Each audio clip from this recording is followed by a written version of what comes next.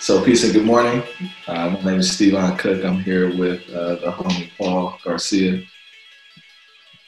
What's up, Paul? How's it going, man? man. Thanks for, thanks for having me. Thanks for the invite. It's great uh, seeing a lot of your work online on YouTube, especially with uh, Jerry Rice, who is my childhood hero. Mhm. So uh, a big, big time fan growing up. So that that was that was awesome. So I'm a You in. Texas, so you're supposed to be a Cowboys fan, right? You know what? You know what, man? Okay, so I'm a, right. I'm a I'm an advocate. You know, uh, big time advocate. A lot of us advocates are rebels, Mm. right? Mhm. So my whole family loved the Dallas Cowboys. I was that one one sheep that was like, no, I'm going with the 49ers. and so, I mean, I, I, Steve Young and and um, gosh, who was the Garrison Hearst? You got had Garrison Hearst and Oh, JJ wow. Stokes.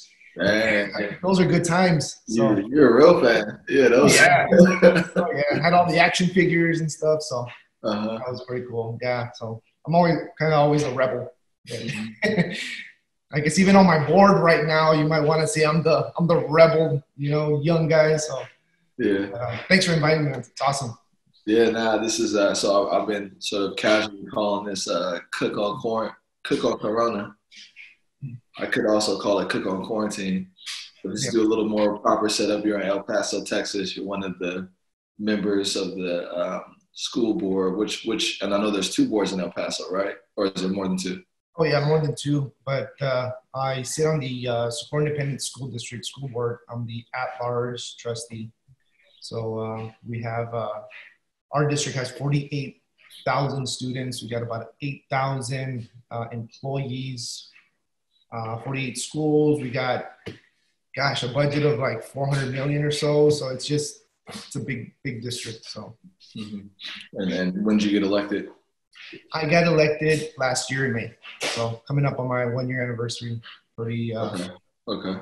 been a Yeah. one heck of a ride.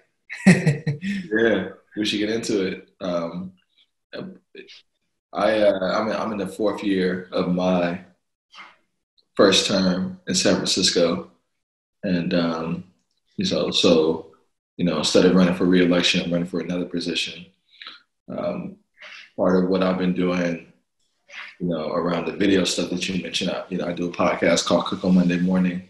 That's available on all the podcast platforms, and before that, I wrote a blog that um, was called Cook on Monday Morning also, but it was like short stories, and all those are, are now they now live at stevoncook.com.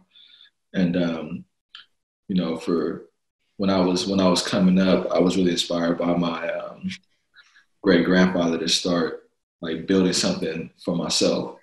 And so I named the company after him called the Luther Harris Holding Company, and all these different um, story platforms are sort of like also a way to build,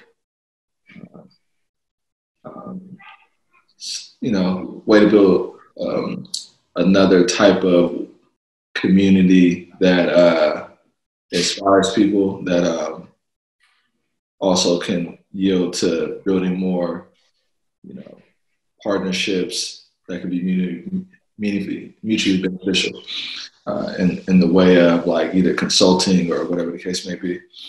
And so um, to, to run for office, which you've done and now uh, have succeeded at, I think it, what, what would you say is like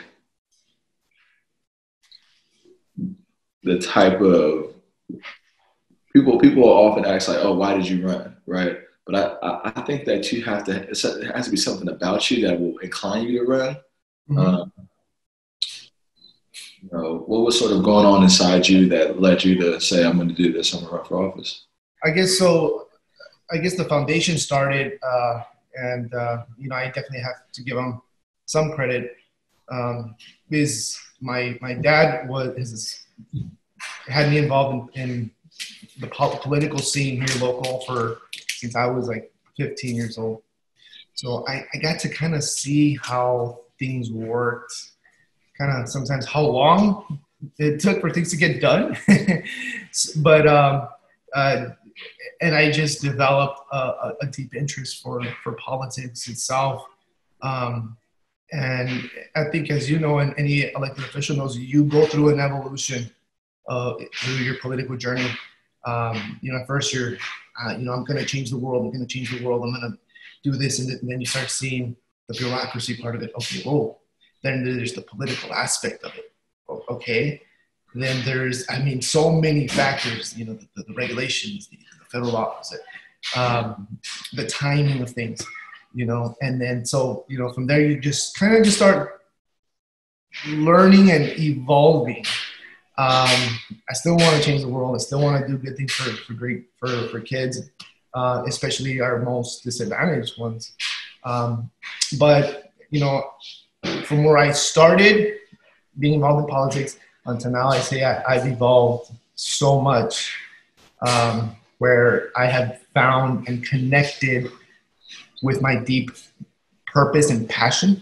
a lot of people tell me like, man, how, how is it that you you you you just you go to these board meetings and you you're just so firm on your stance and and you you know you're you don't uh, you don't bend so easy and it's like when you know what you want to get done you, you you don't. I mean it's a core value you know? Am i gonna stand up for the most uh, economically disadvantaged?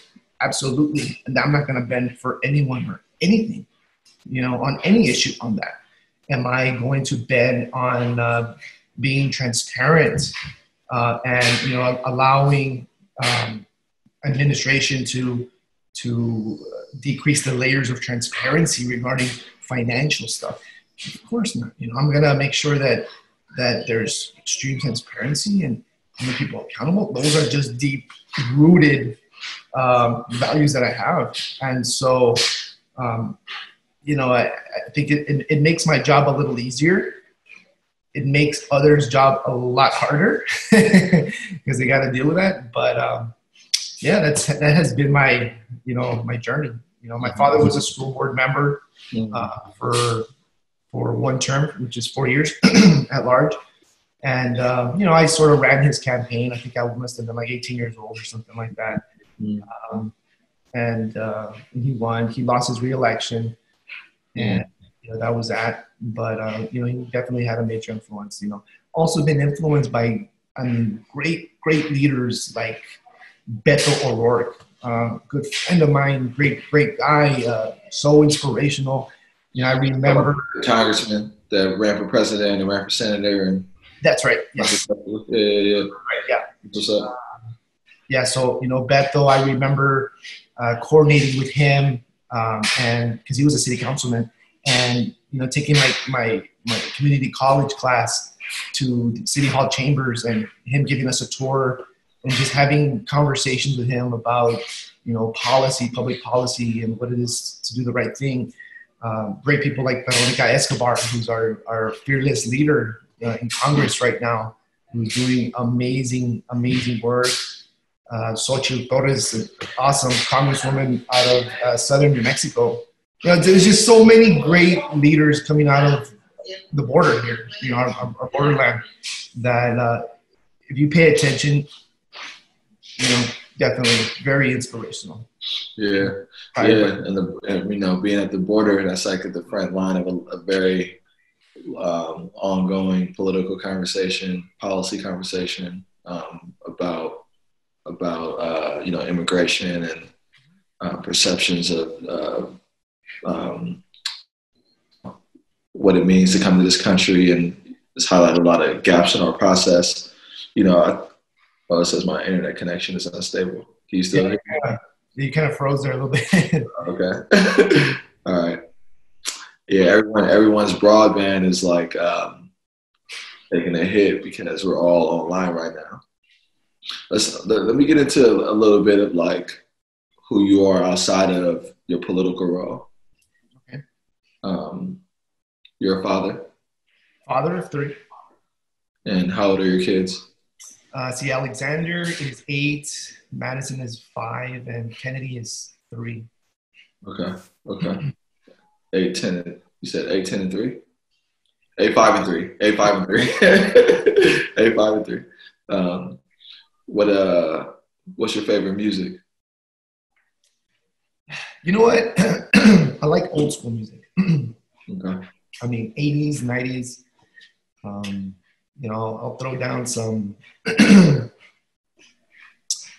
um, I don't know, just maybe throw in some ACDC. hmm Um, you know, usually this is an interesting thing. When I would go and canvas, knock on doors and stuff like that, block, I would throw on my my ACD. I would not not not CD, but my ACDC uh, track, and I just get so pumped up. hmm It gets me in the game. Uh, so definitely for sure that band, the script. I love the script, the words the, that they use, and uh, is just inspirational because it talks about changing the world, believing in yourself, uh, not giving up. I mean, it's just like you can do it. You know, be, you can be the underdog. But you, I love that stuff. Um, what else do I like to do? Uh, Yeah. What's your uh, and and and are you married? married, married to uh, Melissa Garcia. She's uh, we're coming up on ten years. Okay. She's uh, she does A decade in the game. I know.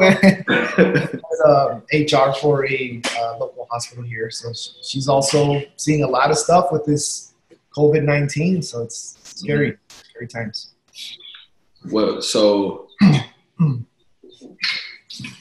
how how long has like um I think I think El Pa talk a little bit about the approach that uh, El Paso took around like shelter in place or what it's been doing currently there um, compared to what the state is talking about because I know that there was like a um, deferment to localities for a minute from coming from your governor's office. Like what is that Yeah, so I mean, the government is pretty, pretty much allowing the local municipalities to make the decision. Uh, it wasn't until recently that the shelter in place, um, you know, took effect. I think it was this. I think it was this week. Yeah, so I think it was this week. Um, you know, pretty much only if you're uh, And El Paso made the decision, or the governor did. El Paso. No, no, no, El Paso. So you know, if you're if you're an essential employee, you can be out in the, or essential business, you can be open. You're not, and they're shutting you down. So it's um, it's, it's pretty scary right now. You know, we got for restaurants. If you want to eat out, I guess you might want to say, um, you know, you're gonna have to do uh, pickup. So one thing that I've been doing is I've been teaming up with local restaurants to, uh, you know, I'll purchase, I don't know, maybe $200 worth of food, and then I'll just throw something out on my Facebook. Like, you know, any teachers that, any SISD employees, school district employees that, you know, first 20 that show up to this local restaurant, we get a free uh, shrimp cocktail or pizza. And uh, so far, the, uh, the employees are really loving it, and, and I'm getting contacted by so many uh, businesses. They're like, "Hey, we want to partner up with you. You know, we're we're seeing how effective it's being for our business. Uh, thank you." And so it's uh, I'm just trying to do as much as I can to keep folks' hopes up, keep them happy. You know, because I mean, being quarantined is it's- you're not used to it, which I don't think any of us are, but it's uh, it's tough. So Yeah, that's actually a great idea um, to to offer that as like a partnership. To offer that as a partnership opportunity. Um, I've never been to El Paso. gotta bring And it the, the only the only uh, perception I have is uh, No Country for Old Men, and I talked to you about that. like, what is this? Like, describe El Paso for me. Oh man, it's just uh, it's the most beautiful place. The best Mexican food that you're gonna have. Uh, we got the best tacos. Um, What are the, what are the top spots somebody can do? Where do they have to go? oh, you got to go to L&J's. Amazing food, locally owned. It's been in business for years. Uh, another really cool spot. Uh, they don't do a lot of advertising. Uh, they don't need to, but uh, it's called uh, Monteleone's Restaurant, and uh, I believe the owner there used to work for Universal Studios. So he, so you go there and, and, and just the the environment, it's kind of like a spooky Italian place. He's got uh, like props props out where you can you know you can see like gangsters. It's just just just pretty cool, man. Pretty cool. Pizza's amazing, mm-hmm. um, for sure. Uh, yeah, yeah, I mean, there's there's there's so much. Uh, the Chihuahua, we, we just got the Chihuahuas baseball a few uh, few years ago, which is the minor league. Uh, minor league. Mm-hmm. So that's always cool to, to, go and check out. So mm-hmm. we got to bring you down. yeah, nah. I mean, I actually, I actually really like Texas. I really like Houston. I like Dallas. Um, I think that like, um, I think that the people, a lot of people from Texas are really proud to be from Texas, and like, um, and for different reasons. You know, there's like a there's there's a pretty strong black middle class too that I see in Texas, which uh, in the places that I've gone, which um, which is not as there's not like a strong black middle class in San Francisco. You know, there is a middle class, but it's not. It's kind of like you know, it's very low, popul- small population. A lot of people have left California to go to Texas. Like Austin is like a big go-to um, spot in terms of conversation. But you know, I don't want to. I don't want to leave San Francisco to go somewhere else like San Francisco. You know, so um, so I'm definitely interested, and uh, you know, whatever Texas has to offer. And um, so, you know, you grew up in that city too, right? Yes. What What was like the? I mean, what are, what are some like your top hobbies? Like, what do you do to kind of when you're not thinking about school board stuff? What's some of the stuff you're into? Gosh, I mean, I just almost feel like school board is a 24 seven thing. you're, you're a dad too, so you got to do that, and you got you know, yeah, wife. Growing up, I did some boxing. Okay that was always cool. You know, uh, go to the to the local gym and hit the bags. Mm-hmm. Uh, they turn off the air conditioner and you just just sweat. It was the best workout ever. Mm-hmm. Uh, for sure that. And I also played four wall handball. Okay. a lot of people don't know what that is. Uh, similar to racquetball. Uh-huh. Uh, we play with a smaller ball. And uh, I'm actually a two-time national champion. I uh, won nationals out there in California at uh, Los Caballeros, uh, Los Caballeros Racket, Rec, or is it Racket Club? I don't know if you've heard of that. It's in. Uh, Congratulations. yeah, yeah. So, uh, doing played a lot of handball at the downtown YMCA. Mm-hmm. So, you know, those were two of my big hobbies: boxing and handball. Okay. Okay, so with your hands, you like to, uh, you know what I'm saying? Right, yeah, just. Well, what was your favorite? What was your favorite punch? You know the jab. Uh-huh. I hated to get punched, so it was always just keep the guy away. just keep. Uh-huh.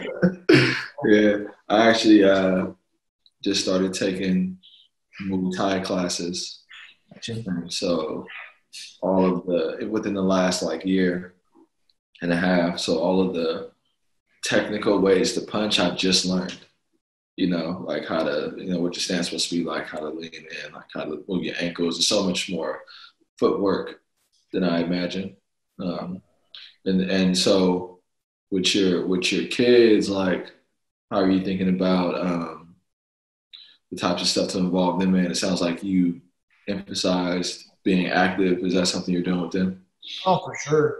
You know, anything that my, my children want to try to do, get involved in, I, I do my best to fulfill that, that desire that they have. You know, my son has tried, let's see, hockey, soccer, basketball, football. Uh, he's been wanting to do boxing. but I'm like, no, no, you're not gonna do boxing. mm-hmm. But uh, right now he's playing football, and you know my daughters are in ballet and dance. Mm-hmm. Um, they love that stuff. So, um, yeah, just staying active with the family. A lot of reading. I read to the kids a lot. You know, we sit down at the dinner table and we have these conversations about current events. Mm-hmm. In my opinion, I think it's so important to just have that conversation with them so that they recognize what's going on in the world right now mm-hmm. without instilling fear, obviously. And, you know, I make sure that, that their fears um, are, I have an answer to their questions and make sure that, you know what I mean? So, uh, just like the other day, you know, my son was, oh, dad, I'm afraid of this what is, what is this virus? And, you know, so I explained it to him in a way that's, you know, gentle but realistic. Mm-hmm. Um, you know, and I and I do that because I know for me growing up, like I mean, we never had those conversations. I didn't even know what the heck was going on in the current in the current events. Like, those, you know, my life was like Madden, you know, uh, PlayStation or Super, you know, Super Nintendo, Sega, and school, and like that was it. You didn't go shoot some hoops.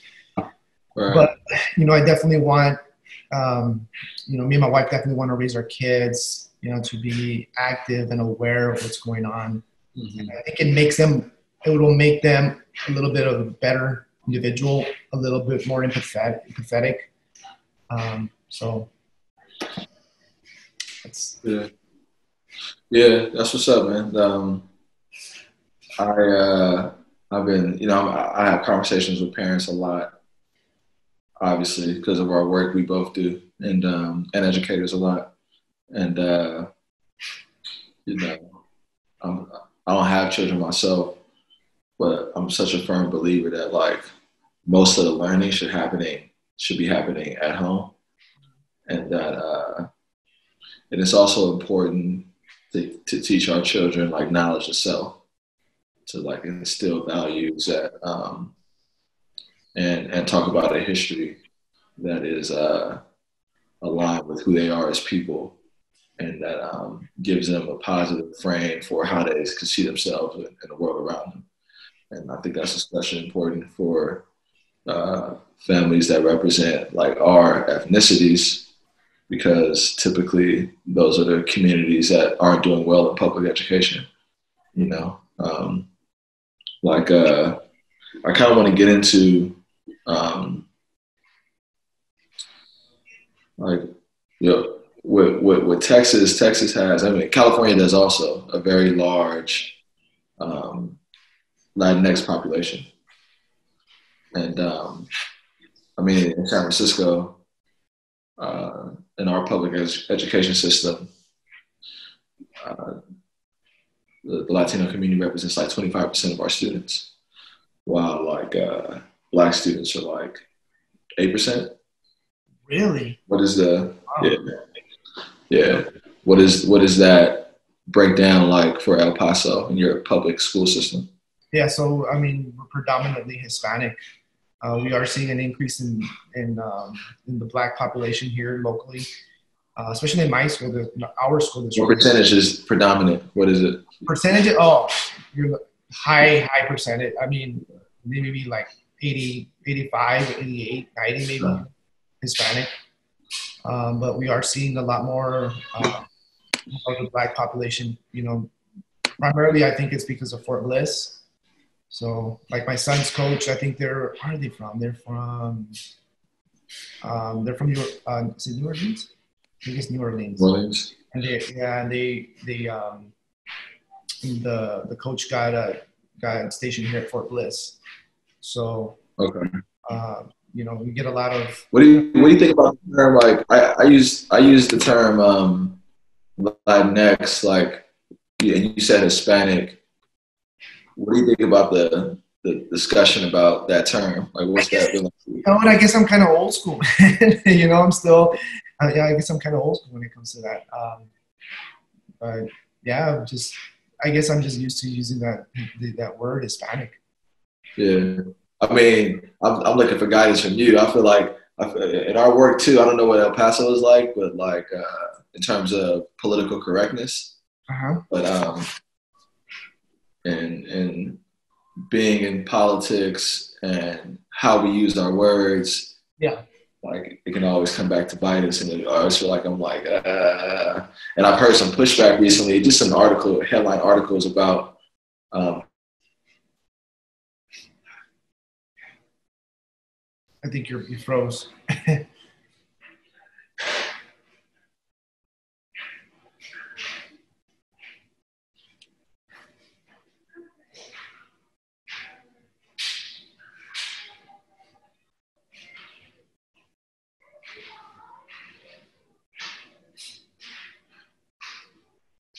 there. Was it good? Yeah, yeah. I don't know what happened. I, I don't know. You just it just froze. Um, did you hear what I was saying or no? Yeah, something about Latinx and being politically correct. Yeah, yeah. I mean, and you know, and, and I'm a, and I'm gonna be uh, honest. I'm pretty straight up, you know, with folks. Uh, there's a lot to learn. You know, I know me and you are both part of the school board partners, and I learned so much mm-hmm. uh, regarding the terms and uh, theories of thinking, the theory of change. You just and you know how you just think how many how many others out there don't know you know what is you know i mean what we know i mean you, you know these social terms so it just it's it's gonna it takes a while you know it takes a while to educate a population or inform a population so yeah. um, i'm always open to be educated you know inform me educate me and i love learning i love uh, listening to different perspectives and theories so you know I'm open I believe you're telling the truth, but I also think you're being safe. no, I mean it's it's the it's the straight it's being straight up. I mean, I yeah. No, I believe you. I believe you. I just you know I also really enjoy learning, uh, uh, but I also um, have been not on this kind of topic in particular, but on other topics I've been like a bit. Um, uh, I don't want maybe I'm concerned about um, about how political correctness could be getting in the way of progress. Yeah. Um, because we're so focused on like not offending people as opposed to improving outcomes for people, you know. And uh, I do think that names matter and representation matters. More than that, competence competence matters and people knowing how to do things is important. And so with when I look about the trends in our education system, you know, what our what our schools have not been able to accomplish for the communities that we, we represent, uh, I'm often frustrated, and I'm like, man, like, you know, what is what is that? What what answer should we be giving the to families like and, and I'm thinking like man we gotta there's an urgency and we gotta pick up the slack where our schools um, can't meet the need and that's that puts a, a additional onus on families because obviously they're grappling with a lot you know they have to work and all this other stuff but I don't, I don't see how we really um, fill the gaps unless we ask as like as a community that we we do it collectively with our own children. Yeah, for sure. Um, what are some of the top priorities you have for this year? Well, for sure, uh, you know, social equity. You know, um, making sure that. So in my school district, they you know you have like you know they call it like the north side of the freeway and the south side and for sure it's you know one of my major priorities has been to uh, be a voice for the south the south south of the freeway mm-hmm. um, uh, the socorro area uh, and and making sure that they, they have a voice you know um, recently we had uh, an issue regarding loss of credit um, in a nutshell, students were allowed to graduate without without meeting the requirements of graduation, both hmm. both both attendance and in grades. Mm-hmm. And for me, I don't take that lightly. It was it was roughly around estimated about 30 students, and that's not okay. I think you're still in education. One student, one student is too much. Uh, and it is my understanding that with a school district as large as ours, there are going to be some mistakes when it comes to things like that. But when you have 30 of them, I'm not the only one that has that has this opinion, and it's pretty widespread that when you got 30 students graduating that not meeting the requirements because of these things, so there's there's a systemic issue there. Uh, and it was one thing that it, it, it, was an issue that was really dear to my heart because um, I did. I was. I had difficulty graduating high school.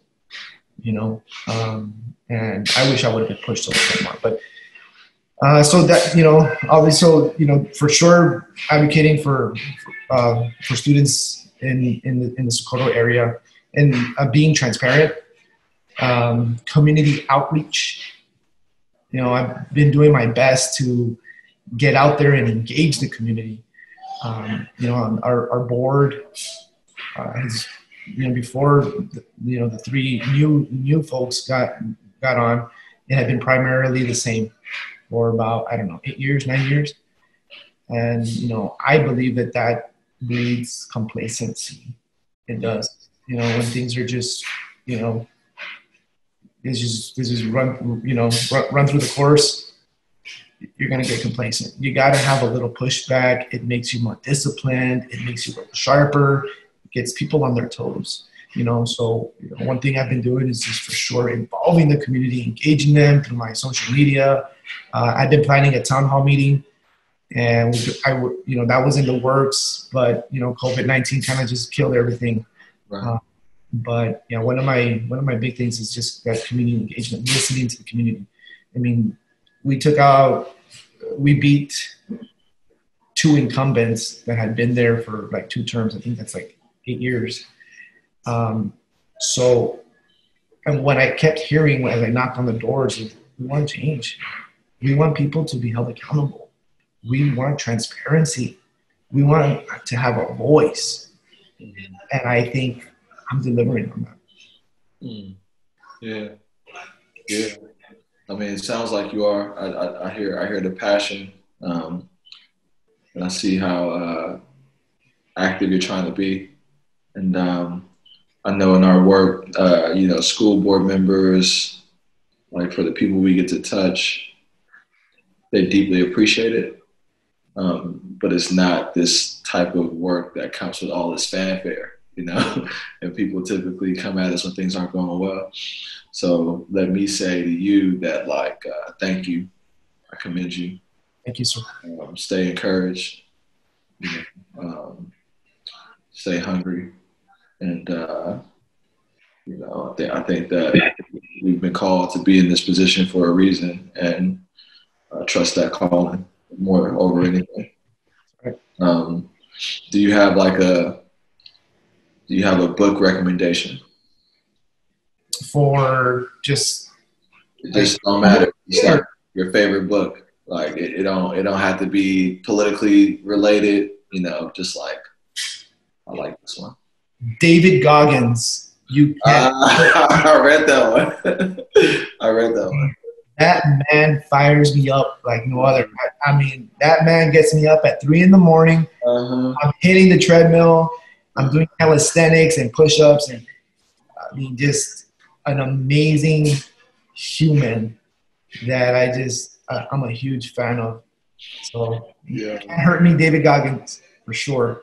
Yeah, that's a good one. And you know what? I'm gonna tell you what David got. That book had me doing because like I typically don't have a story related to a book, but yeah, I was like I was reading the Goggins book, and um, I ran from my house to Ocean Beach, right, the Pacific Ocean and I ran into the ocean.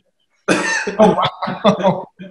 I just like was like ah, and jumped into the freezing cold water. It was like it was it was it wasn't especially cold outside, but it was pretty chilly, you know. Oh, I, I love it. I love it. The just the, the discipline. I love it. You know, and that's the challenge for me in this COVID nineteen has been, you know, I mean, aside from the major stuff, right? But you know, this fact of being quarantined is just like I don't like I'm used to being at the gym at three in the morning. Mm. You know, taking my, my my my my cold shower at the gym and just having that routine and mm. and um, I don't know. I, I feel like being quarantined kind of just has made me a little bit relaxed, mm. and I like it. I don't like it. And I'm at home and there's snacks around and there's cookies there and you got the wife cook baking cakes. And I'm like, what are you doing? Like, uh, all right. And it's crazy how one cheat meal leads to uh-huh. another, to another, to and before you know, you're like, man, I cheated this whole week. What the heck? And you know, uh-huh. um, but you know, I think this week I've I've turned it around. You know, I've been a lot more disciplined and and I think that, believe it or not, that makes me a better school board member. It makes me sharper. I, I just I'm, give me the material. Let's go and just just read it and just take notes and just be more disciplined. I, I it's just it's amazing what what, what Goggins has done for me in my life. Mm, that's what's up, man. That's what's up. That's what's up. So ACDC was the music. David Goggins, You Can't Hurt Me is the book. Um, how can people get a reach out to you, um, get a hold of you? What's your social media handles? I don't even know, but uh, you just search Paulie Garcia. I guess SISD trustee, You, you, know, on Facebook, you can probably find me there. Um, let's see. Let's let's, uh, let's see what my Twitter. Uh, I don't even know my handle. I mean, I got like probably like 900 folks here. So it's gonna be my Twitter will be at Paul E Garcia six, and then my Instagram is going to be Paul E dot Garcia dot nine one five. Because I I'm t- I created these accounts when I I mean I wasn't even planning on running or anything, and like they're, they're not even catchy. You know, usually you want to make it like make it easy, like um, from a marketing perspective, for people to remember. And I'm just like, yeah. But um, it's yeah. all good. I mean, I'm an author of two books. You know, uh, The Adventures of Rocky Bear. Uh, highly recommend the paperback version, and um, uh, Super Xander. That's a and it's an that one's an anti-bullying, uh, anti-bullying perspective. So, how can people get those books? Amazon. Nice man. I didn't know you wrote, but you're an author. We didn't get into that. Yeah, yeah. I'm just I'm an author. Uh, three in the morning cold showers too. Like I, I, was big in the cold showers for a minute. I started again yesterday because I took a break from cold showers, and I was just like, because I just wanted like that edge back. Because you know, I mean, you know the benefits. Standing in front of that water is like, yeah, yeah, yeah. well, I think what's worse is probably like the, the be, right before you're gonna get into that cold water, you're like, I don't want to do this. Yeah. Like, like, and then you can't lie to yourself. There's no one else around. You know, you're just there. You know, you're naked, and you're like, man, what am I? Uh-huh. If, if, if I if I was out of this, then I'm gonna know in my, my heart all day long that I wuss out. I just dive in there. Right, know? right. And then if you when you do it, the rest of the day is like, oh yeah. yeah. After that, I just did, the, you know. It's crazy. So, yeah, yeah, dang, there's a whole see look, that's that whole we could have got we could have had a whole conversation on like self improvement, oh, yeah. um, morning routines, uh, you know, the books that have inspired that. And because uh, all of that is the baseline for how any of this other stuff happens, you know. So that's cool, man. So uh, published author, um, father of three, uh, community leader, um, the homie Paul. That's right. Thanks for doing this, man. You got it. You got it.